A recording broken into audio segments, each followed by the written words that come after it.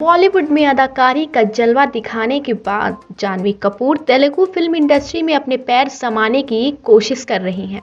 Junior NTR के बाद जानवी कपूर अपने दूसरे तेलुगु प्रोजेक्ट को लेकर लाइमलाइट में बनी हुई हैं। जी हाँ, ऐसी खबरें सोशल मीडिया पर बीते दिनों वायरल हुई थी कि जानवी कपूर अब रामचरण के साथ स्क्रीन शेयर करती नज़र आएँगी। लेकिन अब इन खबरों की सच्चाई जानवी कपूर के पिता बोनी कपूर ने बता दी है। बोनी कपूर ने अपने लेटेस्ट इंटरव्यू में जानवी और रामचरण के प्रोजेक्ट पर अपना रिएक्शन दिया है।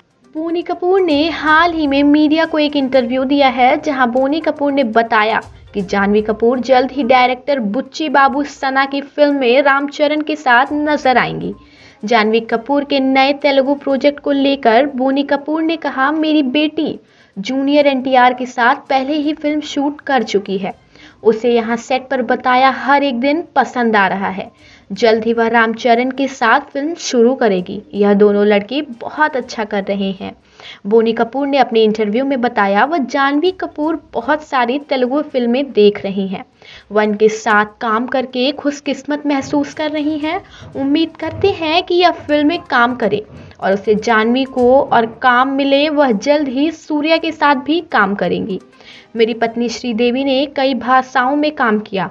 उम्मीद करता हूँ मेरी बेटी भी वैसा ही करे। बता दें, जानवी कपूर का पहला तेलुगु प्रोजेक्ट जूनियर एनटीआर के साथ है, जिसका नाम देवरा है। India twenty four into seven live TV के लिए डेस्क रिपोर्ट।